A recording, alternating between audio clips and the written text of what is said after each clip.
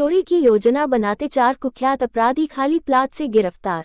थाना रामगढ़ क्षेत्र नगला मिर्ज़ा चेकी वाले रोड के किनारे से गए दबोचे। कब्जे से भारी मात्रा में नाजायज तमंचा व कारतूस व दो मोबाइल फ़ोन व दो हथफूल व एक जोड़ी पायल भी बरामद। फिरोजाबाद थाना रामगढ़ पुलिस ने चोरी की योजना बनाते हुए चार कुख्यात अपराधियों को चोरी की योजना बनाते नगला मिर्ज़ा चेकी वाले रोड के किनारे खाली प्लाट से गिरफ़्तार कर लिया। जिनके कब्जे से भारी मात्रा में नाजायज तमंचा व कारतूस व दो मोबाइल फ़ोन व दो हटफूल व एक जोड़ी पायल सफ़ेद धातु बरामद किया गया।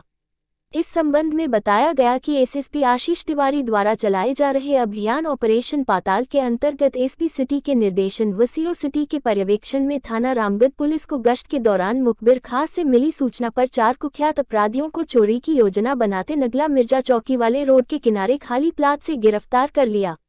जिनके नाम बबलू उर्फ़ छोटू पुत्र हफीज खान निवासी दीदामई काली पानी की टंकी के पास थाना रामगढ़ वसीम पुत्र अमरूददीन निवासी नूर नगर गली नंबर 36 थाना रामगढ़ दीपक पुत्र सुरेंद्र सिंह निवासी अंबेडकर पार्क गली नंबर 6 सैलई थाना रामगढ़ राहुल पुत्र तुलसीराम निवासी दुर्गा नगर कुशवाह बगीची गली नंबर सात थाना रसूलपुर हैं।